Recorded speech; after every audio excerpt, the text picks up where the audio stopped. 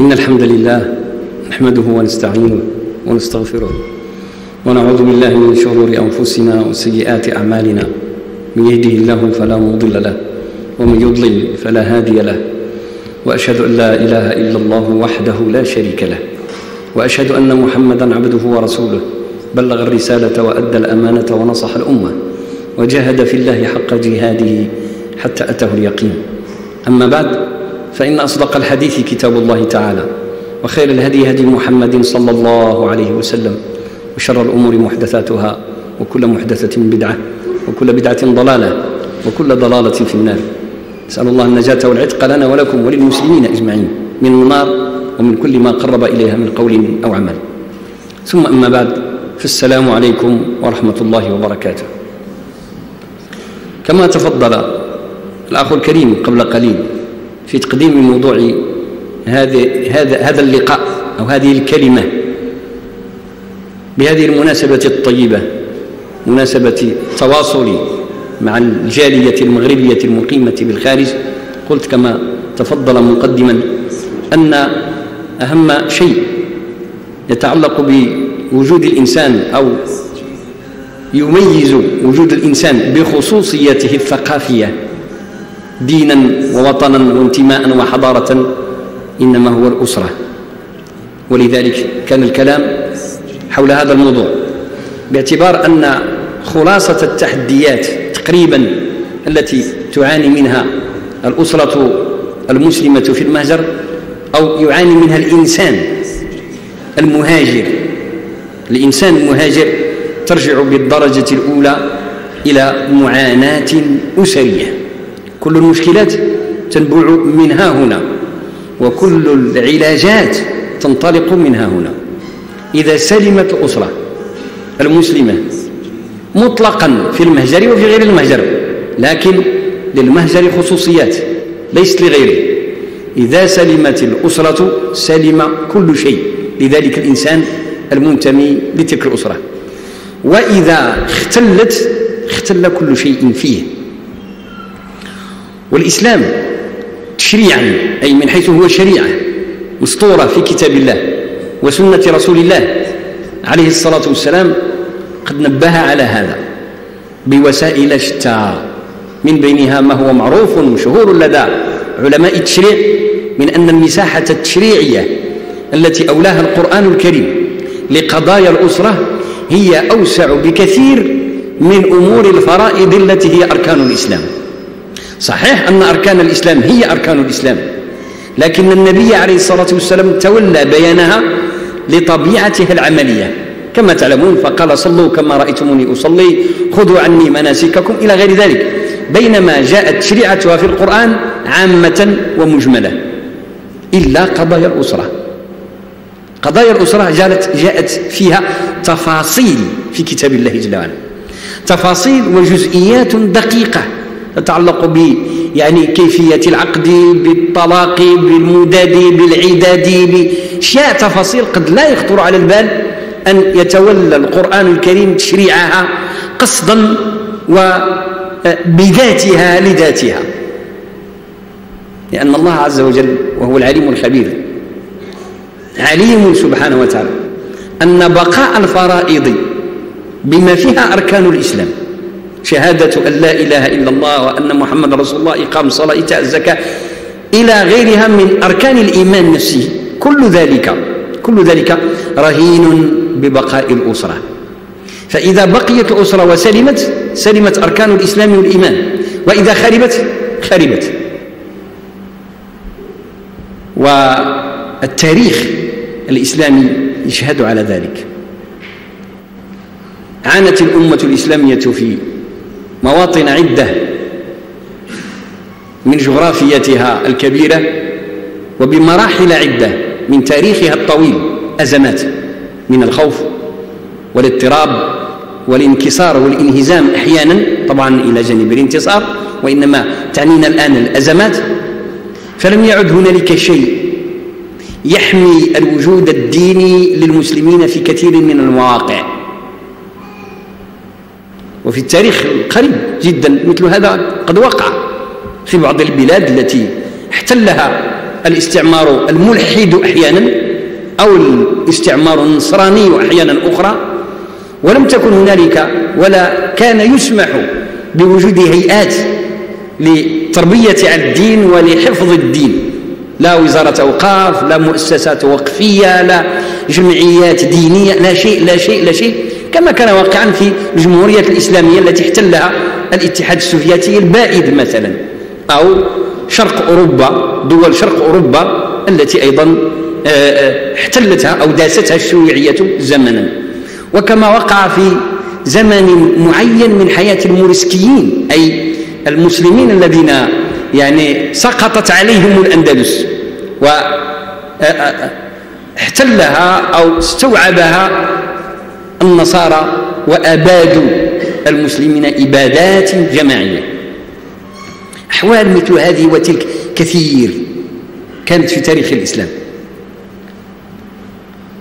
والشيء العجيب رغم أنه لم يوجد هنالك شيء يمكن أن يحمي بيضة الإسلام على المستوى الرسمي ولا على المستوى الشعبي. في كثير من المواطن مما ذكرت بعدما انزاحت الأزمة وانهزم المستعمر. خرج المسلمون من تحت عباءته كأقوى ما يكونون.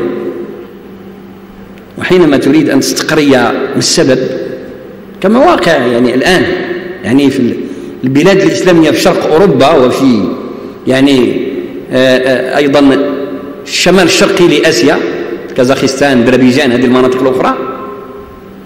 يعني رجعت إلى دينها بقوة. وتمسكت به بشكل عميق كبير مع أنه لم يكن هنالك شيء يمكن أن يحمي بيضة الإسلام. المصاحف كما هو معروف كانوا يجعلونها في الأقبية تحت الأرض وفي صناديق ومن يقرأ منهم القرآن يقرأه سرا وكانوا يضعون أوراقه في المغاوير البعيدة في الجبال ويدسونها في التراب. ما كان هنالك إمكانية لاستمرار الدين علنا في تلك البلاد. ومع ذلك حينما نهار نهار الفكر الإلحادي ورجع الناس نسويا إلى حرياتهم رجعوا إلى دينهم كاملا. وهذا حدث أيضا في بلاد الأناضول بتركيا زمنا طويلا. مثل هذا وأشد أيضا منه. ثم عاد الناس إلى الدين أفواجا كما كانوا فيه من قبل وفي بعض الأحيان بصورة أوعى. وأعمق. الشيء الوحيد الذي بقي للناس وحيد. بقيت لهم أسرهم. وماذا نقصد بالأسرة؟ نقصد أن الأسرة بقيت مستمرة بمفهومها الشرعي. هذا الذي بقي. يعني أن الناس وهذا الذي بفضل الله عز وجل لم ينتبه إليه الاستعمار والفكر المعادي في تلك المرحلة لكن الآن انتبهوا إليه. بعد تجربتهم طبعا لم ينتبهوا إليه سلفا فتركوا الناس يتزوجون على طريقة الشريعة. وكان هذا كافيا لضمان استمرار الدين.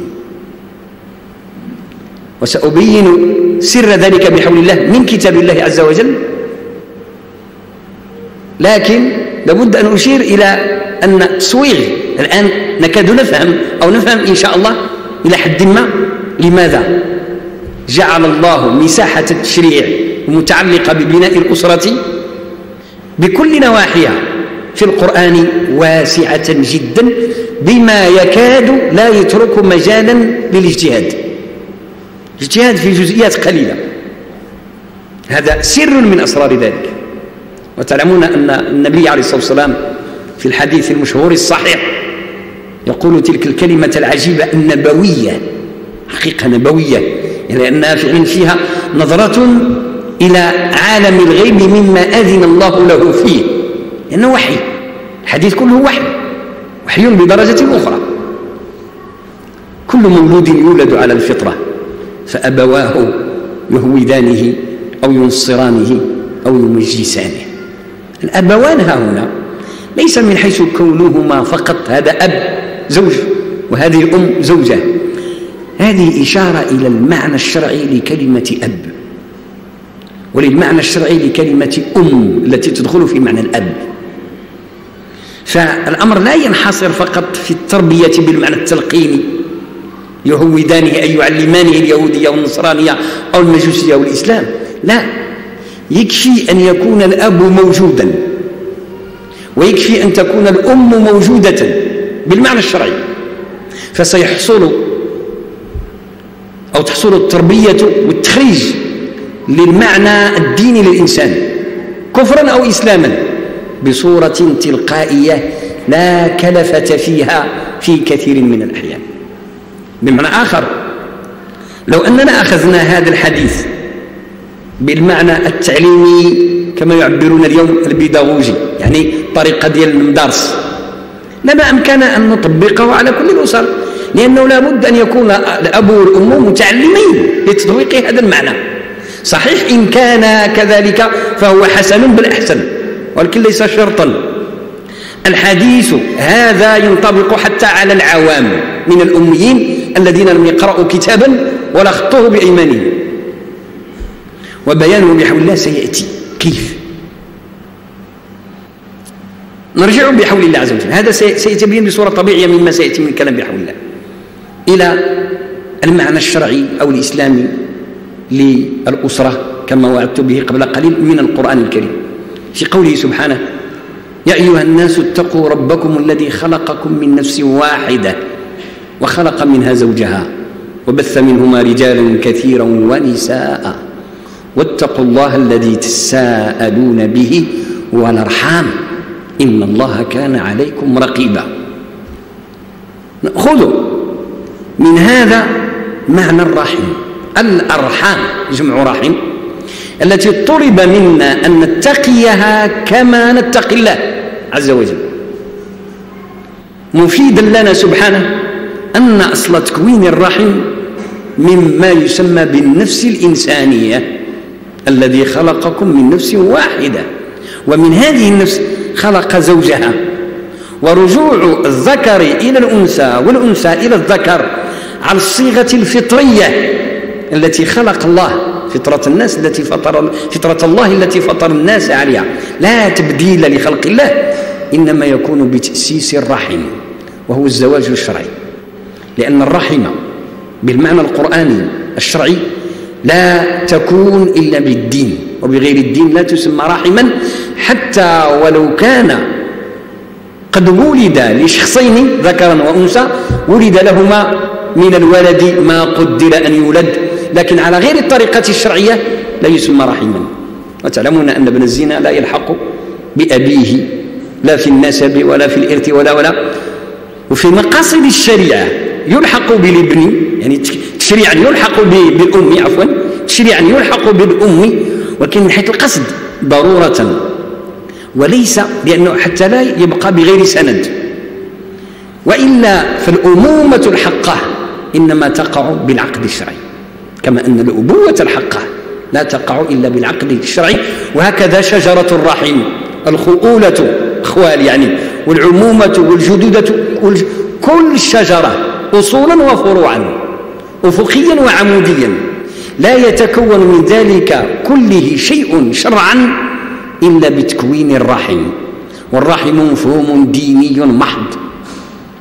لأن الأصل في كلمة الرحم هو ذاك الغشاء الذي في بطن المرأة يحتضن الجنين. ليس هو المقصود بالأصالة في الآية. وإلا ما فهمت على وجهها ولا يمكن. وإنما انتقلت الدلالة في كتاب الله عز وجل من اللغة العادية إلى اللغة القرآنية الشرعية. ليصبح أو تصبح الرحم لها دلالة أخرى ومعنى آخر. غير هذا الغشاء البطني الذي في آه، بطن الأم أو المرأة والذي يحتضن الجنين. لأن يصبح للزوج أيضا رحما وللخال وللعم وللجد. رغم أن أولئك منهم الذكور والإناث والذي لم يلد أصلا وصار له رحم. فإذا المعنى أوسع بكثير. صحيح أن الانطلاق هو من هناك لكن بما وضع فيه من نطفة على شرع الله. وسنة رسول الله عليه الصلاة والسلام. قلت إذا لا يستقيم المعنى إذا أخذنا الرحم بالمعنى كما يعبرون اليوم بالمعنى البيولوجي. لا يستقيم لأنه نتقي الرحم بهذا المعنى ما ممكن. فما معنى التقوى؟ فإذا التقوى معنى تعبدي. واتقوا الله أي نعبد الله عز وجل بالحذر والخوف والرهب والرغب إليه سبحانه وتعالى. تقوى. وانتقي هذه الرحم أيضا. واتقوا الله الذي تساءلون به تساءلون به والأرحام. فكيف تتقى الرحم؟ ظاهر الكلام كما يذهب إليه بعض الناس هو صلة الرحم. صحيح؟ صلة الرحم. لكن أعمق وقبل قبل ذلك وأعمق منه تأسيس الرحم. من مثلا ولد على غير شرع الله لم يتقي الرحم. فاتقاء الرحم أن تؤسس أولا على شرع الله قبل أن نتحدث عن صلة الأرحام. فمن أسس شيئا مما يشبه الرحم وليس برحم بالزنا أو بالسفاح فإنه خالف أمر الله والأرحام أي اتقوا الأرحام. خالفه مخالفة صريحة. يجب إذن أن نؤسس الرحم على شرع الله فذلك أول التقوى. حتى إذا تأسست وكانت الأسرة المسلمة انتقلنا بعد ذلك إلى فروع هذا الأصل من صلة الرحم. والصلة مهمة جدا فيما نحن فيه من موضوع سيأتي بيانه بحول الله بعد قليل فيما يتعلق بالأسرة المسلمة في الغرب. هذا كلام في الحقيقة يتعلق بكل الأسرة المسلمة لكن أقول هنالك تحديات أعمق وتحتاج إلى تقوية هذه الأواصر. إذا كان ذلك كذلك أي أن الأسرة التي يسميها الله عز وجل رحيما أن التعبير يعني العربي القديم هو الرحم وهو المستعمل في كتاب الله وفي سنة رسول الله عليه الصلاة والسلام. إذا تبين هذا أن هذه الأسرة وهذه الرحم هي أساس البقاء والاستمرار الديني للمسلمين في العالم وعبر التاريخ كما نطق به القرآن من حيث تشريعه والسنة النبوية أيضا من حيث نواهيها وأوامرها بصلة الأرحام وغير ذلك. فسيكون إذن الوجود أو حقيقة الوجود الثقافي والحضاري بصفة عامة يعني الوجود الخصوصي للإنسان المسلم بما هو مسلم. أي بصفته كونه مسلم لا يكون إلا بوجود الأسرة. ولذلك إذ غفل أعداء الإسلام عن هذا المعنى في مرحلة الاستعمار القديم فقد انتبهوا إليه اليوم. ولذلك وجدنا هذه الهجوم على الأسرة في العالم وخاصة الأسرة المسلمة لأنهم علموا بالتجريب أن الإسلام يستمر رغم كل التحريفات رغم كل الهجومات العسكرية والثقافية والعلمية والإعلامية وهي هجومات رهيبة وأسلحة فتاكة مدمرة لكن مع ذلك يبقى المسلمون مسلمين رغم انحرافهم رغم ضلالهم رغم اعوجاجهم ثم يهبوا بعد ذلك هبة واحدة ويستيقظون. وجدوا أن العامل الوحيد الذي بقي لهم هو هذا المعنى الأرحام. فوضعوا البرامج العالمية لتدمير مفهوم الرحم الشرعي وتشجيع النسل لكن بغير الطريقة الشرعية أن هذا الكلام حول تحديد النسل كذا إلى آخره يعني غير صادق. يحدون من النسل الحلال ويكثرون من النسل الحرام. يحدون من بناء العلاقات الشرعية المباحة المأذونة والمطلوبة ويفتحون الباب للعلاقات الشرعية المحرمة المخربة المدمرة. فإذا هذه الأمور كلها هي التحديات الحقيقية للوجود الإسلامي المعاصر. ونعلم أن الأمة جمعاء تعاني من هذا. لكن الأسرة المسلمة في الغرب أوروبا وغيرها تعاني بصورة أشد. والذي هناك يعلم هذه الحقيقة. إذن كيف السبيل؟ إلى الحفاظ على هويتنا كمسلمين. مغاربة. نعيش هناك في تلك البلاد. لأنه أن يحافظ الإنسان على نفسه فقط ممكن لكن لن يحافظ على الاستمرار الكلي للإسلام والمسلمين هناك. لا يكون الحفاظ بالمستوى الجمعي إلا إذا تم بمستوى جمعي. أي بالنواة الجمعية التي تجمع الوجود الإسلامي في خلايا اجتماعية وهي الأسرة هي الرحم. الأسرة هناك تعاني من ثلاثة تحديات. بشكل أكبر مما هي عليه الأسرة المسلمة في غير الغرب وفي غير المهجر. التحدي الأول الدين. التحدي الثاني الرحم نفسها. التحدي الثالث اللغة. يعني هذه الأمور يعني المسلمون جميعا يعانون منها لكن بحول الله سأذكر هذه الأشياء منزلة ومطبقة على واقع المسلمين في الغرب بخصوصيات معينة مما يسر لي أن أطلع على بعض على بعض آه، مشاهده ومعاناته. ومما بلغ إلي بالتواتر الجم الكثير من خلال ما نشاهد ونسمع ومن خلال الأسئلة والاستفتاءات التي تقع على أهل العلم في كل مكان من أهل المهجر. الأمر الأول قلت هو أو التحدي الأول الدين. الدين كما هو معروف هو الذي أسس هذه المفاهيم جميعا. يعني كلامنا عن الرحم قبل قليل وعن حديث النبي عليه الصلاة والسلام كل مولود يولد على الفطرة وغير ذلك وغير ذلك مما أسسنا به مفهوم الرحم في الإسلام ومفهوم الأسرة. كل ذلك منبعه من الدين. فإذا فقد الناس هناك الدين إذا فقدوا التوجيه فقدوا البوصلة التي توجههم إلى نقطة أو مكمن قوتهم الذي إذا فقدوه فقدوا كل شيء. آخر القلاع للوجود الإسلامي أسرة المسلمين. أو الأسرة المسلمة. آخر القلاع فإذا كان الإنسان الغربي أو عفوا إذا كان الإنسان المسلم في أوروبا يرى الخراب قد دخل إلى أسرته من حيث ضياع الدين. فليعلم إذن أن وجوده الديني مهدد بالانقراض.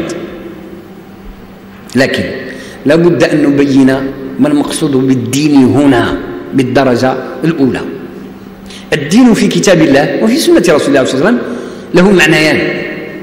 وسنخصص معنى واحدا ونخص من ذلك المعنى معنى أخص يتعلق بالمسلمين هناك بالدرجة الأولى مما يفيدهم في ذاتهم وفيما يعانون منه إزاء الضغوط الثقافية والاجتماعية التي تحاول أن تستوعبهم وأن تهضمهم وتعيد إنتاجهم لكن بصورة غير إسلامية.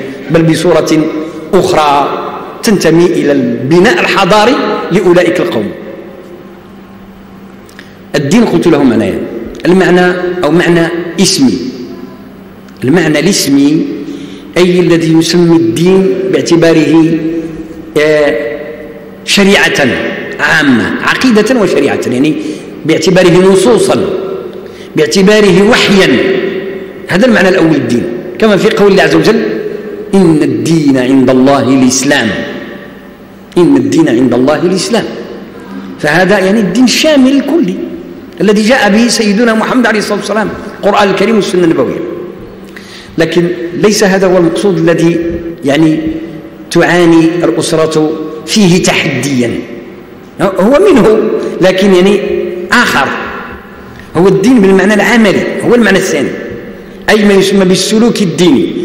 أو ما يسمى عند كثير من الناس اليوم بالتدين. تدين هذه الكلمة في كتاب الله ولا سنة رسول الله صلى الله عليه وسلم ولكن استعمل الله عز وجل الدين بالعبارة نفسها.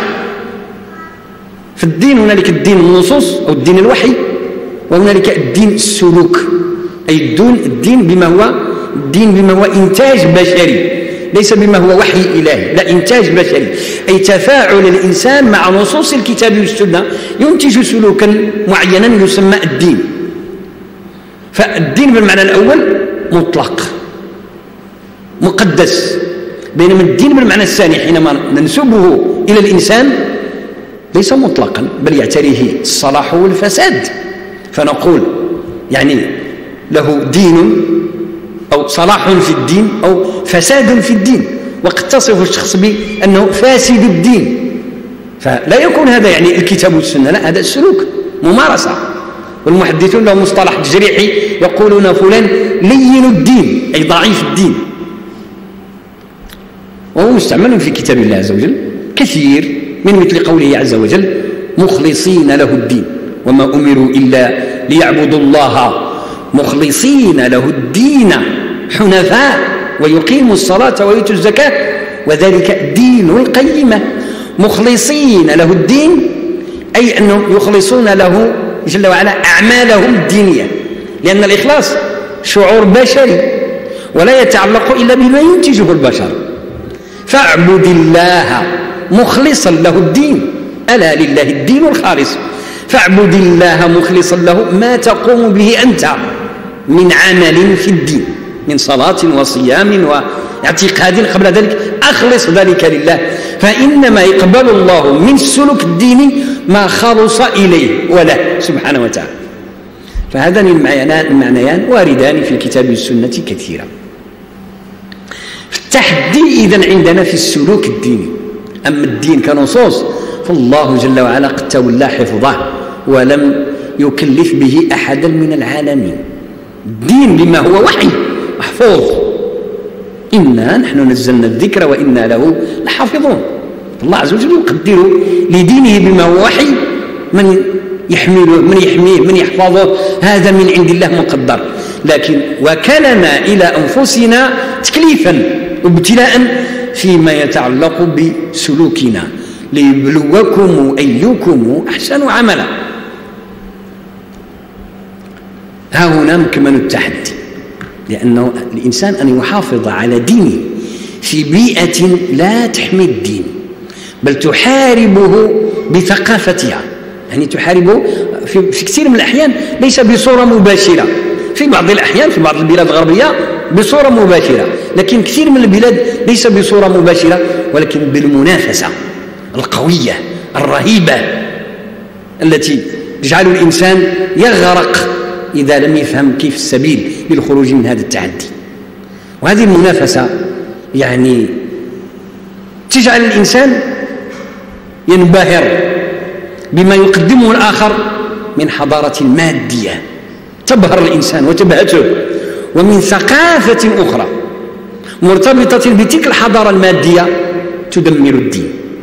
أي أن الغرب يقدم لنا حضارة مادية براقة لكن معها ثقافة.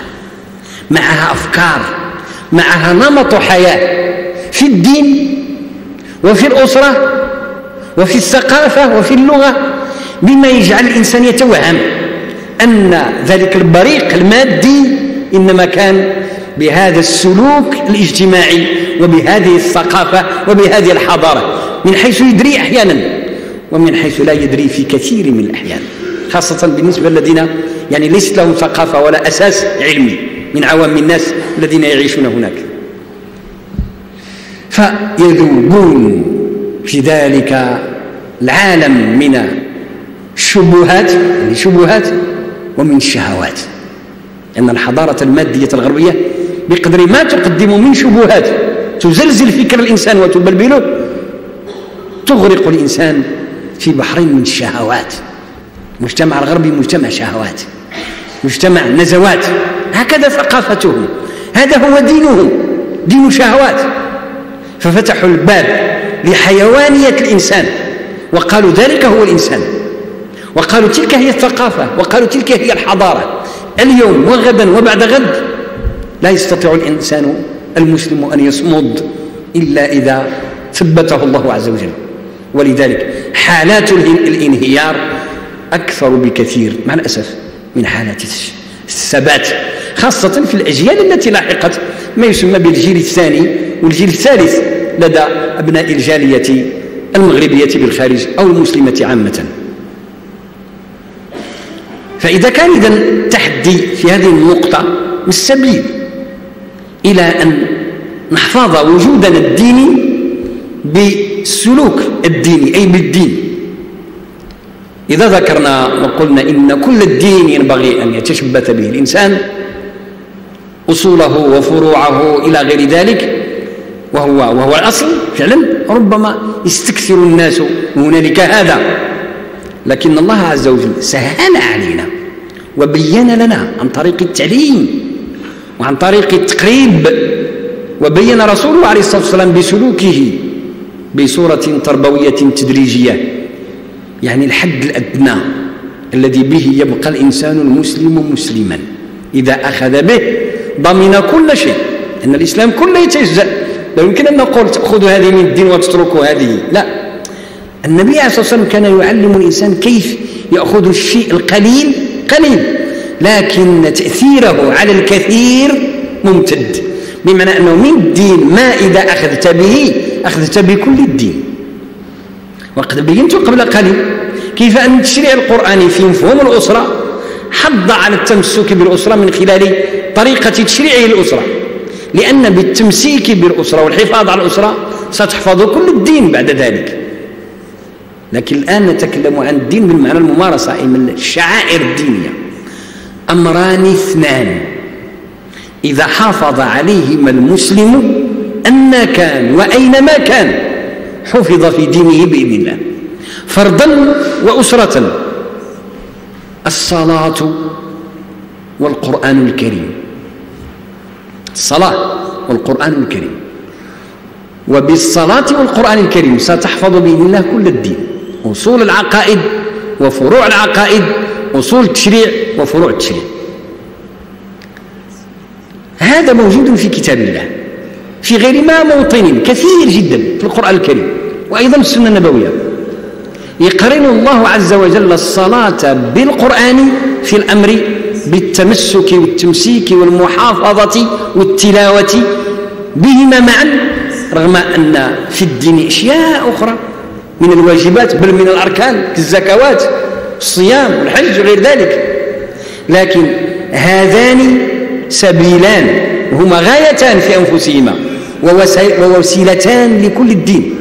خذ إن شئت مثلا قوله تعالى أتل ما أوحي إليك من الكتاب وأقم الصلاة. إن الصلاة كانت على المؤمنين كتابا موقوتا إلى آخر الآية. يعني أمر بشيئين. عجيب. تلاوة للكتاب وإقام الصلاة.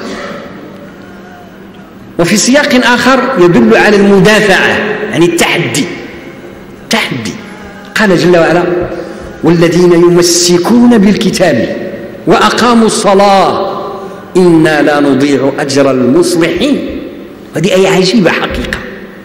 فيها تعبير دال على أن الإنسان في مثل هذا الموقع هو في مكان فيه تدافع يعني ما يسمى بالتحدي يعني ليس وضعا مطمئنا بل وضع مضطرب. وضع فيه تدافع فيه مجاهدة فيه مغالبة فيه مصارعة. دال عليه قوله سبحانه يمسكون وآخر السياق سأذكره بحول الله. قال سبحانه والذين يمسكون بالكتاب لأن في العربية هذا مضاعف تشديد كان ممكن يكون الكلام في العربية والذين يمسكون يمسكون بالكتاب هو عربي فصيح واضح. لا قال يمسكون لأن التمسيك لا يكون إلا في الحالة التي يريد أحد أن ينتزع منك ما أنت تمسكه. شي واحد بغى يحيد لك هذاك الشيء ولذلك قال لك مسك به شد بقوة فسينزع منك وينتزع. والذين يمسكون بالكتاب حتى لا ينتزع منهم. وأقاموا الصلاة. عطفا على التمسيك بالكتاب. قال إنا لا نضيع أجر المصلحين. مش الصالحين. عملية إذا تدافعية إصلاحية. لا يمكنك أن تصلح ذاتك ولا أسرتك ولا أمتك إلا بهذين. فإذا ضبطتهما ضبطت كل شيء في الدين. وتقليل الأشياء يساعد على تنفيذها. وهذه طبيعة الإسلام. كيحسب ويعدلك بني الإسلام على خمسين ها واحد ها اثنين ها ثلاثة. هذه أساليب تعليمية قصد تيسير التطبيق والتنزيل وتشجيع النفس الإنسانية على الدخول تحت ربقة التكاليف. الذي كثرت عليه تكاليف الإسلام قال له قل لي في الدين أو في الإسلام شيئا لا أسأل عنه أحدا بعدك. قال له كلمتين قل آمنت بالله ثم استقيم تيسير. هما في الحقيقة عبارتان أجملتا كل الدين. لكن السائل يسهل عليه أنئذ العمل ويتيسر عليه. وهذا منه يمسكون بالكتاب وأقاموا الصلاة. أتل ما أوحي إليك من الكتاب وأقم الصلاة. وهذا مضطرد في غير ما موطن من كتاب الله وسنة رسول الله عليه الصلاة والسلام. لماذا الصلاة ولماذا القرآن؟ أما الصلاة التي أمرنا أن نعلمها أبناءنا في حداثة أسنانهم؟ الله يبدأ يعني يوعى. يعني خمس سنين ست سنين سبع سنين وجب على المؤمن أن يعلم أبناءه هذه الصلاة لأنها تجعل الطفل رجلا. يعني شيء عظيم. لأنها صلة بالله. هذا يعني عمق الصلاة. صلة بالله. ربط لهذا الإنسان الجزئي الضئيل الصغير برب العالمين. ويكفي. يكفي من ارتبط بربه أينما كان. نصرة ومددا وإمدادا. يعني ولو كان في قلب الفتن إذا كان قلبه دائم الاتصال بالله. عبر مواقيت الصلوات فأبشر بأمانه. وأبشر بحفظه وسلامته واستمرار ما هو عليه. لأن الصلاة صلة وتواصل.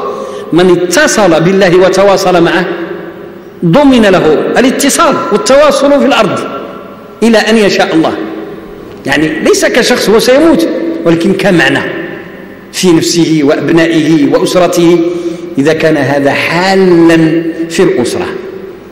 ولذلك حينما تنتبه الأسرة المسلمة هناك إلى هذا الأمر وتربي نفسها أبا وأما وذرية على الصلاة تنجز في البيت مما ينجز في البيت وفي المسجد مما ينجز في المسجد. فذلك من أهم الضمانات على حفظ الوجود الديني لتلك الأسرة في تلك البيئة وهنا نرجع إلى الحديث الذي وعدت بأن أبين كيف أن الإنسان الأمي يطبقه بصورة تلقائية؟ شوف ذاك الإنسان الأمي الذي لم يقرأ كتابا ولا خطأ بيمينه كيصلي أمام الأبناء ديالو يصلي صلاة نافلة أو أي صلاة من الصلوات. وأطفاله يشاهدون هذاك المنظر. وحده تربية عميقة هذاك يمكن نسميه بصمة نفسية في قلوب الأطفال. تمر السنوات ويكبر الأبناء. وقد أقول يعني بعض الأشياء يعني آه، أسوأ الاحتمالات. قد ينحرفون قد يشذون لكن لا ينسون أبدا مشهد والدهم أو والدتهم. كيف كانت جالسة بين يدي الله أو ساجدة أو راكعة أو رافعة يديها تتضرع إلى مولاها. هذيك البصمة عمرها كتنسى اليوم وتكون بابا يفتح القلب حينما يأذن الله. لذلك الشاب أو تلك الشابة في وقت ما حينما يأذن الله بالتوبة كيكون هذاك المشهد هو السبب للرجوع إلى الله عز وجل. عداد من المشاهد من مثل هذا ومن القصص التاريخية والمعاصرة سمع سمعناها بالتواتر. مما يعني كان فيه شيء عجيب جدا. أحد الناس ذهبوا يطرقون أحد باب أحد الأشخاص يعني يديروا أساليب كيقلبوا كيلقوا الأسماء الإسلامية في دليل الهواتف ويطرقون الأبواب دعوة إلى الله عز وجل. صنعوا هذا مرة فوجدوا شخصا يعني يعني غربي في عقله في سلوكه في كل شيء في لغته في تفكيره. لا صلة له بالدين مطلقا. لا يربطه بالدين إلا الاسم. بقي الاسم عنده اسم ديال المسلمين فحدثوه عن الدين برفق وبلين. أجابهم بكلمة قال كانت عندي جدة تصنع هذا. يذكره يقوله أذكر قصة واقعية أخرى عجيبة. في أيام يعني الاتحاد السوفيتي البائد والامتداد الشيوعي على شرق أوروبا اتحاد يوغوسلافي جاء أحد الناس من البوسنة إلى المغرب في إطار زيارة جامعية. يعني إنسان مثقف ثقافة يعني عادية يعني ذائب ذائب في البنية الشيوعية. إطار يعني إطار يعني الدولة آنئذ في المرحلة السابقة الشيوعية جاء المغرب زيارة ثقافية لإحدى الجامعات. وبدأ يتحدث مع بعض الأساتذة في الجامعة بعض الإداريين فسأل عن شيء. يعني تذكر أشياء قديمة جدا عنده. سأل عن شيء قال اشرحوا لي ما معنى فالتيني فالزيتوني وما تقول واو فا. يعني كثير من البلاد عندهم هذا. فالتيني فالزيتوني والتيني والزيتوني فقالوا هذا أصله آية من كتاب الله من سورة سورة تين. التين والزيتون وطور سنين وبدأوا يفسرون له الآية. قال لهم كانت عندي جدة تضع يدها في رأسي وأنا طفل صغير. كلما خرجت صباحا إلى المدرسة فتقرأ علي ذا فالزيتون يعني البركة ليحفظ. ما رسخ في قلبه من الدين غير هذا. هذا شيء مهم جدا. فأبواه يهودانه أو ينصرانه أو يمجسانه. بصمات نفسية في بعض الأحيان لا إرادية بمعنى أن الأب نفسه والأم ما سيقينش خبر ماذا يقع. بل يعني ليس لهما يعني إرادة معينة وبيداغوجية كما يعبرون لتكوين هذا الطفل أو لتربية هذا الطفل بالسلوك الديني قد لا تكون هذه الإرادة. يكفي أنهما مسلمان. بركة يكفي. كلامهما في البيت سلوكهما العادي محبتهما للدين ممارستهما للدين. حتى ولو كانت بصورة فيها الانحراف حتى.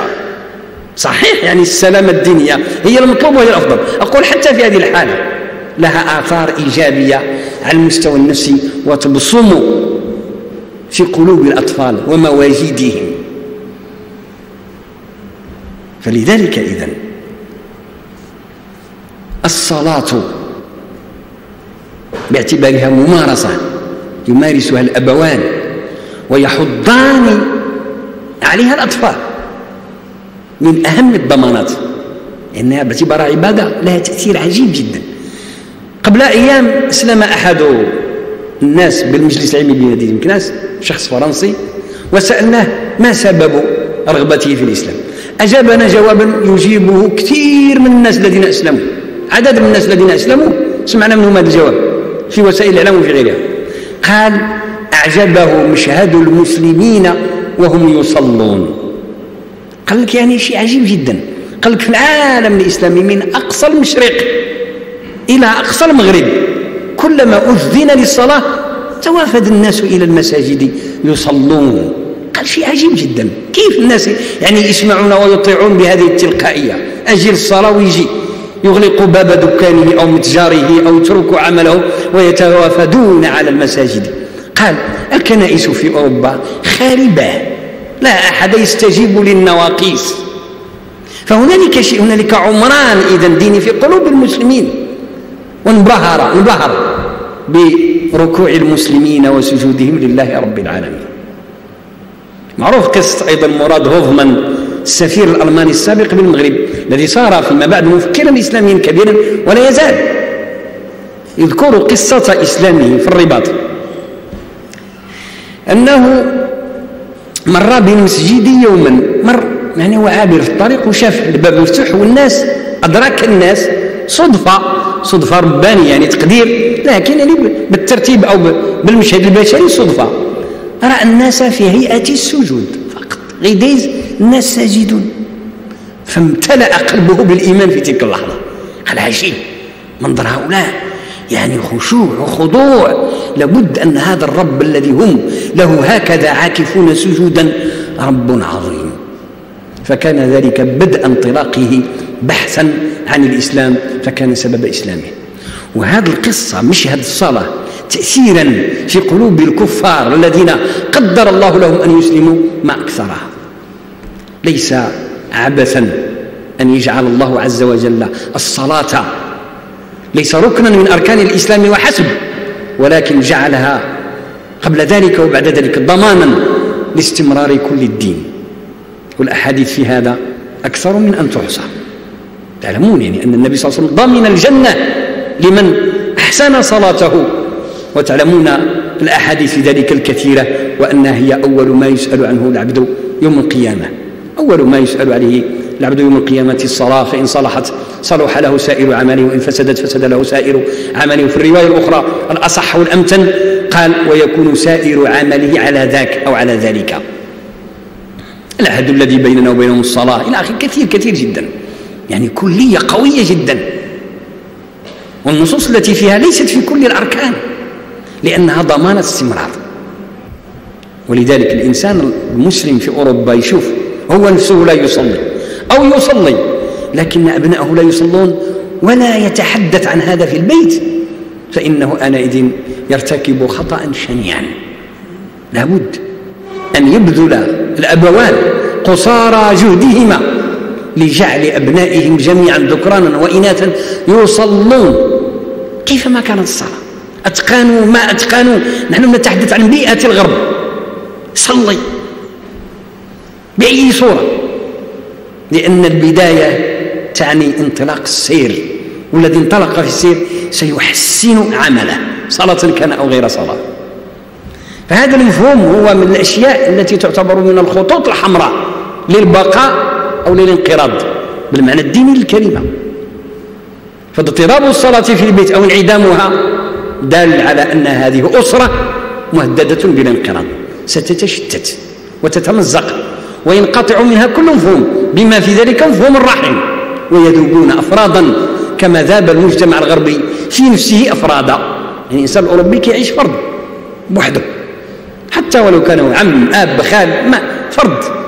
كثير من المسلمين يعيشون هذا التمزق أيضا بسبب أنهم آه، فرطوا في الدين الجامع يعني في صلواتهم. أما القرآن التلاوة فلأن كتاب الله عز وجل يوثق كل مفاهيم الدين. طبقوا ام لم يطبقوا هذه قصة أخرى. والكتاب إنما نزل للتطبيق. لا نعم ولكن قبل ذلك وبعد ذلك. أيضا يوثق حقائق الدين. شحال من واحد الآن في هذا البلد وفي غيره لا يطبق تعاليم القرآن الكريم والسنة النبوية؟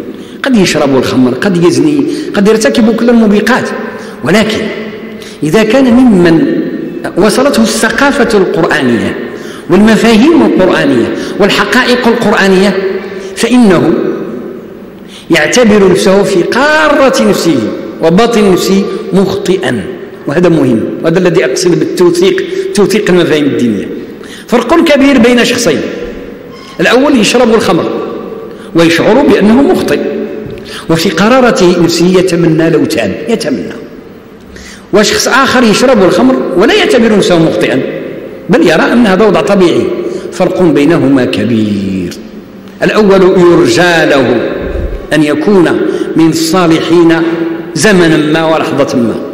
أما الآخر ففي هذه اللحظة وبهذا الاعتقاد وبهذا الظن فميؤوس منه إلا أن يتغمده الله بتوبة جذرية. لأن هذه قضية كبيرة هذه. الإنسان أن يعتبر يعني المنكر معروفا. انتهى. أما الذي يمارس المنكر وهو يشعر بعقدة الذنب فوضعه بخير.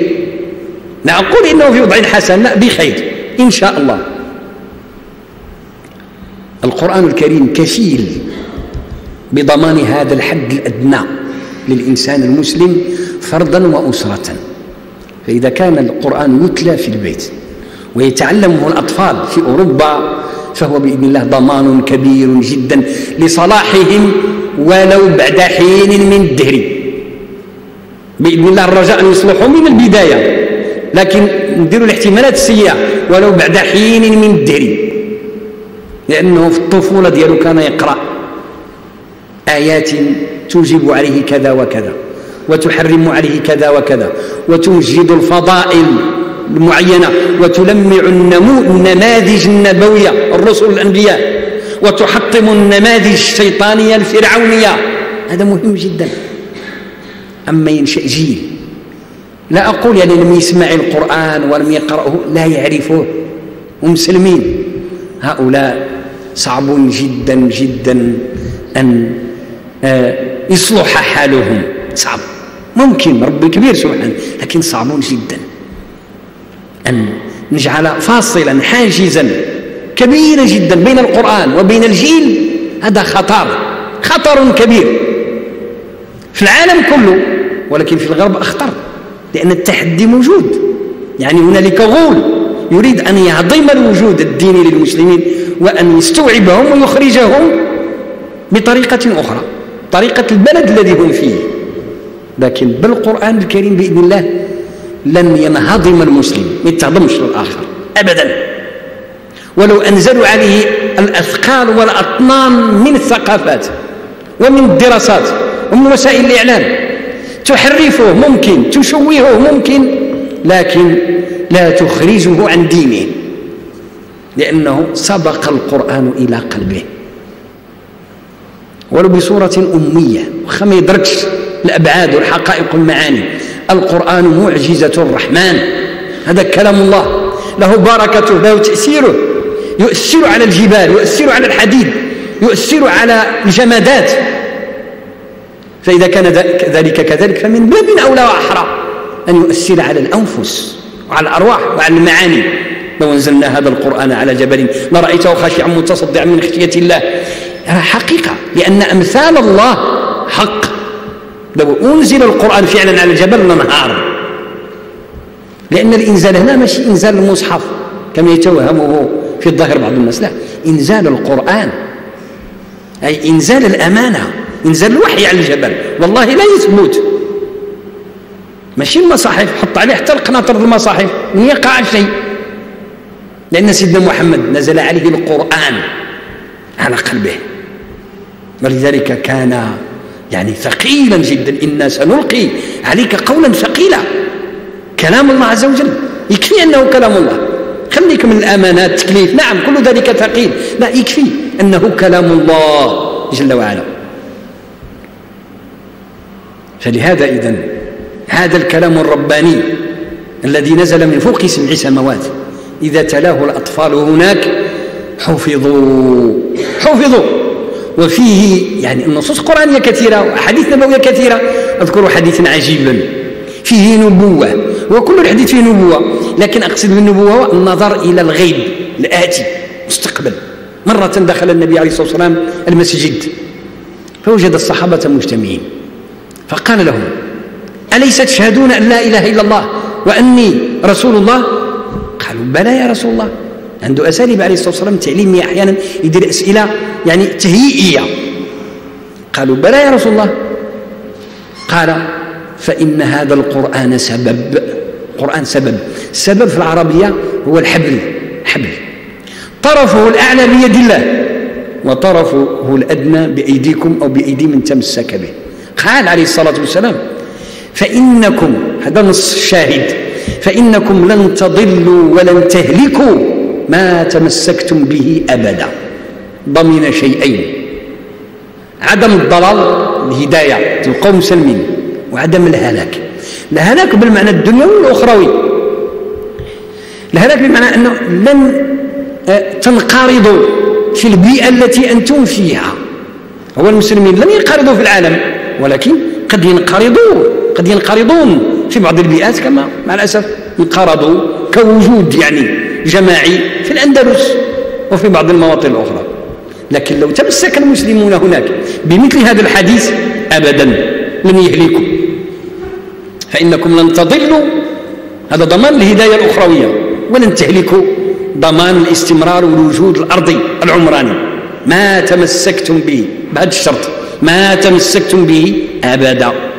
ما دمت متمسكا به أبدا فإنك لن تضل ولن تهلك أبدا. هذان وهذان فحسب. بركة في الدين. إذا أخذت الأسرة المسلمة هناك بهذين الأمرين يشيعون الصلاة تربية وثقافة فيما بينهم داخل الأسرة ويقرؤون كتاب الله يعلمونه ويتعلمونه. فقد أمنوا بإذن الله عز وجل من جوانب شتى الأمر الثالث هذا الدين كله الأمر الأول هو الدين. بحفظ هذين يحفظ دين الأسرة المسلمة في المهجر كله بإذن الله. ولكن هذا وجود الاسره الأمر الآخر هو من الدين لكن فرعناه ان قلنا لابد من وضع بعض الأشياء مستقلة لعظمة حجمها. الرحم. الرحم أشرت إليها في بداية الكلام. أعيد الآن بعض الأشياء وأفصلها. إذا استهنا بها من حيث المعنى الشرعي فقد خربنا السابق واللاحق. يعني يخرب الدين كله ولن يكون هنالك لا صلاة ولا قرآن ولا أي شيء. لأن هذه المعاني في جميع جميع الأمور مرتبطة بهذا النسيج الذي هو الأسرة هذا الاجتماع البشري. جوج ثلاثة أربعة خمسة مكونات إلى أكثر إلى ما شاء الله إلى ما شاء الله من الأفراد امتداد بالعمومة الخؤولة كذا فالحفاظ على الأسرة الذي يجعل الأبناء يشعرون بانتمائهم الحضاري أساس متين جدا لبقائهم هناك مسلمين.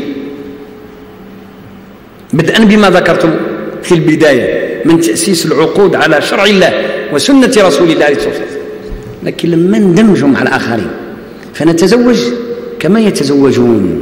انتهى. صافي. لا أمل آنئذ في بناء شيء. على شيء ما نسميهش أسرة, أسرة. شيء اجتمع على غير شرع الله في زواج بيولوجي غير شرعي انتهى. أصلا ما بديناش. إنما البدء بالنقطة الأولى أي البدء على سنة الله عز وجل ورسوله عليه الصلاة والسلام في تأسيس الرحم فإذا هذا أمر حيوي ضروري. ونحن نعلم أن هذا الأمر يخرم كالترس يخرم بشكل كبير لدى الأسر المسلمة مع الأسف القاطنة في أوروبا وفي غيرها من البلاد الغربية. الذي ينبني على ذلك من مفهوم الرحم وقد بينته تكلمنا عن الرحم المعنى ديالها التعبدي. أن الإنسان حتى ولو فقد بعض الدين يمكن تلقاه ما كيصليش يعني وهي كبيرة من أكبر الكبائر. لكن لما بنت الأسرة عنده على مفهوم الأسرة بذاك المعنى الشرعي يشعر أن له أبا أب. ويشعر أن له أما أم. لأنه ماشي هذاك زوج وزوجة ملي كيتزوجوا غير ولدوا الولد أو البنت الأولى يصبح اسم الزوج أبا أبوة هذا المعنى راه دين هذا. والأخرى كتولي أم أمومة وهذيك بنت وهذاك ابن وهذاك عم وهذاك خال.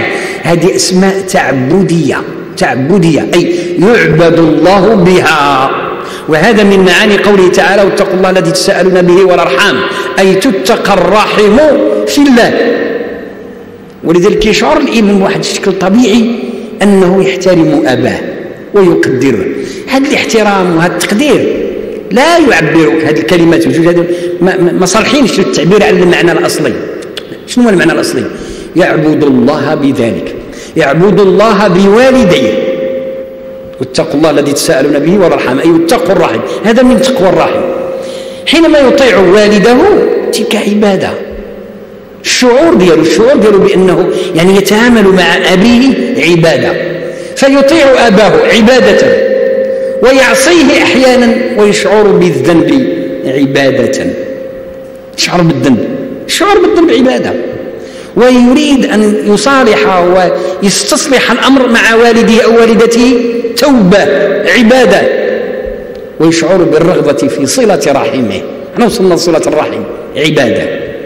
وكيشعر بانه عظيم. راه هو بلجيكا أو فرنسا أو هولندا أو ألمانيا أو كندا ما كيمش عنده عمه مثلا في مراكش أو في تافيلالت أو مكناس أو طنجة خاله جده عنده انتماء حضاري يشعر بعمقه وامتداده غير مقطوع غير مجدود. لما عندوش هذا الشيء كيشعر بأنه عاد بدا. لا أصل له ولا فصل. مقطوع. مجدود. هذا أرق. يجعل إذا لا يقيم للقيم وللأخلاق وللدين ولا للوجود. قيمة. ما عنده ما عنده غرض حتى شي دين ولا أخلاق. يمكن أن تنتظر من, من مثل هذا كل الشر لكن اللي كبر في أسرة كيسميوه الناس ولد الأصول. التربية الشعبية راه كلها دين في الأصل. بهذا الشكل كيشعر بأنه يعني ما ينبغي لمثله أن يصنع هذا. ووجدنا ونجد أن الشخص يكون منحرف ويعرف بأنه يعني كيحشم بالأسرة ديالو. يعني يشعر بأنه يجلب العار لأسرته ويشعر في قرارة نفسه بالخزي والعار. هذا مهم جدا. لا سبب له غير الأسرة. لولا أنه ابن أسرة ونبت في أسرة ما كان له هذا الشعور. ماشي سهل يجي الإنسان وهذا ضمان عجيب جدا. للأسرة المسلمة المقيمة هناك. لأن البيئة ما كتحميش. ما زال هنا قد يقع بعض الاختلال في الأسرة بعض. لأن يعني كلها مشى مشات أيضا البيئة. ولكن كاين عندنا أسرة كبيرة هي البلاد كلها هي الوطن. رغم ما فينا من انحراف وفساد ودمار وخراب مع ذلك. الحمد لله. الصلوات تقام المآذن تؤذن. يعني المظاهر العامة للدين موجودة. وفي هذا ما فيه من الحفاظ على الدين يساعد الأسرة الصغيرة بشكل كبير لأن الأمة والوطن بصفة عامة أسرة كبيرة. هذا الأمر غير موجود هناك. بالعكس الوطن الآخر يريد أن يحول الإنسان الذي فيه إلى غير هويته التي هي أصله. ننتقل إلى النقطة الثالثة والأخيرة. فلا أطيل عليكم وقد أثقلت أعتذر. بعد الدين والرحم اللسان أو اللغة. الله سبحانه وتعالى يسميها لسان. حتى الأحاديث النبوية فيها لسان. يعني التعبير الشرعي ما يعبرش بكلمة لغة. سبحان الله العظيم. وما أرسلنا من رسول إلا بلسان قومه ليبين لهم. بلسان عربي مبين. ما كايناش كلمة لغة في القرآن إطلاقا. وحتى الحديث. سبحان الله العظيم. تكلم النبي صلى الله عليه وسلم على اللسان. اللغة مستعملة في اللغة يعني يعني عبارة صح. لكن تعبير القرآن الكريم مع أن اللغة كلمة قديمة مش جديدة لكن تعبير القرآن الكريم باللسان وهما عند الناس يعني اللغويين مترادفان لكن في التعبير الاصطلاحي الشرعي غير مترادفين. القرآن عنده لغته. كيف تردوا في القرآن إطلاقا؟ التعبير باللسان له دلالة عميقة جدا. في الكلام الذي نتكلم به منه ما هو لغة. أنا نبسط هذا الشيء بشكل أكثر بحول الله عز وجل. ومنه ما هو لسان. اللغة عادة هي ديك الأصوات اللي كنخرجوا يعني اللغو. اللغو عنده معنى ديال العبث لكن أنا جذر واحد الأصل واحد.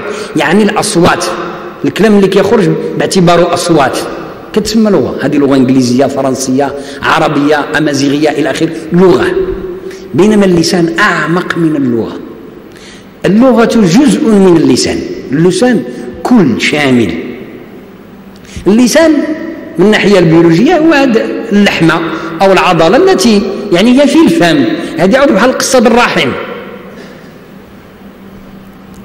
لكن تدل على الماهيه الكلامية الفكرية الثقافية للإنسان؟ يعني ثقافة وعاطفة ووجدانا وذوقا. نزيد نشرح هذا الشيء. يعني ذلك الذي نشعر به ونحس به باطنا قبل أن نتكلم به. ليس لغة. مازال ما ولا لغة. راك كتكلم عندك حوار وكلام. شلام الكلام راك تقولوا لداخل. مازال ما ولا لغة. ما يولي لغة حتى تبدأ يخرج أصوات. لكنه كلام. كلام نفسي. وهو لسان. لأن اللسان بما هو عضله كيعبر على الذات. الوجوديه للانسان بينما اللغة أصوات. أعراض. هي غير صوت. يخرج. هي المرحلة النهائية للكلام هي اللغة. واللسان عميق جدا. كيدل على المعاني كيف نفهمها كيف نتذوقها كيف نشعر بها. معاني الخوف معاني الفرح السرور الحق الباطل الحسن القبح كل ذلك ديك الأذواق والمواقف كلها تقع في اللسان قبل أن تقع في اللغة. ولذلك هذاك الحديث العجيب من رأى منكم منكرا فليغيره بيده فإن لم يستطع فبلسانه. ماشي باللسان هذا اللحمة ما ممكن. يعني هذا للأكل وللشرب ولاستعمال لكن المقصود يعني باعتباره رمزا لتلك الحقائق التي تنطق بها. هذا حق. راه وقع في النفس أنه حق. وهذا باطل. يعني بمواقفك بمواجدك التي تعبر عنها بلسانك. تعبر عن ماذا؟ عما وقع في جنانك أي في قلبك. اللسان شمولية كلية. ولذلك الأسرة المسلمة في أوروبا وجب أن تمارس وظيفة اللسان. كيف يعني؟ أولا يتكلمون بلغتهم التي هي لغتهم العربية. أو العامية أو الأمازيغية. ما كيهم؟ بما تكلموا المهم أنها لغة مسلمة. وأقول بكل صراحة أن بعض الناس دارس اللغة ما يعجبهمش هذا الشيء. لا اللغة تكون مسلمة وتكون كافرة. لكن كيف؟ ما المقصود؟ ممكن أي لغة في العالم أنها تولي مسلمة ولكن بشرط أن يطول احتكاك أهلها. بالإسلام. ما يمكنش اللغة تسلم في ليلة واحدة بين عشية وضحاها موجودة لغات غير العربية مسلمة. اللغة التركية اللغة الفارسية اللغة الأردية يتكلموا بها الهنود. الملاوية يتكلموا بها الماليزيين والأندونيسيين. الأمازيغية طبعا باب أولى وأحرى. كل اللغات التي يتكلم بها المسلمون مسلمة. ولكن كيف؟ قرون. قرون وهي لغة أولئك المسلمين. لأنه هذوك المسلمين سلموا. فعبروا إحنا رجعنا للسان عبروا عن أذواقهم عن مشاعرهم بلسانهم. وما أرسلنا من رسول إلا بلسان قومه ليبين لهم. فذلك البيان للدين وقع منهم بلسانهم. اصطبغ الدين بذلك اللسان. وصار جزءا منه تصبغ الدين بذاك اللسان وتصبغ, وتصبغ ذاك اللسان بالدين. فصارت لغة مسلمة. ولذلك مطلوب منا أن نتكلم بلغة مسلمة في بلاد غير المسلمين عربية كانت أو غير عربية؟ نتكلم بلغة مسلمة لكن أن نتكلم بلغة لم تسلم بعد هذا خطير. وليس معنى ذلك أننا نحارب اللغة الأجنبية كلا وحاشا. بل واجب أقول واجب على المسلمين وجوب كفائيا أن يتكلم بعضهم إتقانا. للغة العالم. لمقاصد شتى لا تنحصر وليس هذا موضوع كلامنا. لكن أن نفقد لساننا الخطر فين كاين؟ وهذا الذي يحز في النفس. أن نفقد هذا التحدي أن نفقد لساننا بسبب أننا نتكلم لسان الآخر. ولسان الآخر يحمل ما يحمل من نقض ديننا وهدم هويتنا. فهذا هو الخراب عينه. هذا خراب الأسرة كاملة خراب الإنسان. ولذلك هذا من أكبر التحديات من أكبر التحديات التي تعاني منها الأسرة المسلمة في الغرب. مأساة. أن يأتي أبناؤنا من هناك لا يحسنون لغتهم الوطنية الدينية. وتبدا تعلم الإسلام كأنك تعلم نصرانيا شيء دي مصيبة. السبب الرئيس أن والديه لم يحافظوا على لغتهم العامية الدارجة. أو الأمازيغية داخل بيتهم. هذا السبب الرئيس. ما كان ينبغي أن نفقد كلامنا هناك في بيئة المسيطر فيها كلام آخر ولسان آخر. وهذا الأمر رغم عمقه الشديد بسيط للغاية. هذه بحال القصة ديال الدين. فأبواه يهودان أو ينصران أو يجلسان وخرى الأمر عميق كما بينت على المستوى الأكاديمي والثقافي. لكن الممارسة ديالو في إمكان العامي الأمي الذي لم يقرأ كتابا ولا خطه بيمينه. في إمكانه. ماذا بإمكانه؟ يكفي أن يتكلم. ما خسر والو غير يتكلم. بعاميته. بدارجته. غير يتكلم. المشكلة وهذا معروف أن المسلمين هنالك في أسرهم واحد الشيء عجيب. لا يتكلمون. لا يتكلمون. عرفتوا علاش؟ ما عندهمش الوقت لا يتكلمون. كيجي الأب خدام الأم خدامة يدخل في الليل كيلقى الأبناء نعسوا. الصباح كيسبقوه أو يسبقوهم في الخروج. هذاك المدرسة أو العمل وهذاك العمل. مشتتون. لا يجمعهم شيء اطلاقا. أين الأسرة اذا ما عندهمش لحظات. ديال الجلوس إلى مائدة يتكلمون. كلام الزوج مع زوجته أمام أطفالهم ذكرانا وإناثا تربية لا شعورية على اللسان. خلي ولادك يسمعوا العربية أو اللغة ديال البلاد كيف ما كانت. خليهم يسمعوا يسمعوا الأب كيتكلم مع الأم أو الأم كتكلم مع الأب. وتمتلئ قلوبهم بالثقة في والديهم وبالثقة في لغتهم. وما تجيوش واحد اللغة غريبة. لا تجري على لسانهم ولا تقع على آذانهم. مصيبة هذه. فلذلك إذن حينما ينزع منه هذا ويشحن بلغة أخرى وتحمل هذه اللغة من المفاهيم التي لا علاقة بالدين بل تنقض حقائق الدين. يصعب عليه جدا أن يتمثل حقائق الدين إذا دعي إلى الدين. ماشي يستحيل لا يصعب. يصعب جدا. أعطيك واحد المثال إذا كان يسمع كلمة صلاة بالعربية قل باه أنا غادي نوض نصلي. أو أمه أو يقولوا ليه نوض تصلي يا ولدي. أو نوضي تصلي أبنتي عبارة الصلاة ما عمره ما سمع. يسمع الكلمة الفرنسية المقابلة أو الإنجليزية أو أي لغة أخرى. يسمعها ممن من الآخرين من أصحاب الكنائس. يسمعها من المدرسة. المؤسسة التعليمية التي يتلقى فيها وعنها اللغة الأخرى. ستصل إليه كلمة صلاة باللغة الأخرى لكن بغير الدلالة الإسلامية. ماشي من حيث الهيئة لا. ماشي يعني أنه غادي يغلط ويقول ودي راه حتى المسلمين كيصليو بالموسيقى أو بالرقص أو بهيئة معينة كما يقع في كنائس اليهود أو كنائس النصارى وبيع اليهود. لا ماشي بالضرورة هذا الشيء. كاين هنالك معنى نفسي للصلاة عنده وثقافي الانسان الآخر يعني الصلاة عنده شيء آخر. نوع من عقدة الذنب نوع من الكمد نوع من الارتباط بعقدة الذنب التي نزلت على الإنسان عندهم والتي لا يخلصها كما في ثقافتهم ودينهم المنحرف إلا الإيمان بالمسيح. ولذلك عندهم الاعتراف ماشي التوبة عندهم الاعتراف ويعبرون عنه بلغتهم ضرب من التنفيس فإذا صلى الإنسان عندهم يعني شعر بالكمد. واستقذار الحياة. الصلاة عندهم استقذار الحياة. الدينية المادية العكس تماما. عكس هو المقصود بالصلاة في الإسلام. الصلاة عندنا سياحة في ملكوت السماوات والأرض. وراحة. أرحنا بها يا بلال. وجعلت قرة عيني في الصلاة.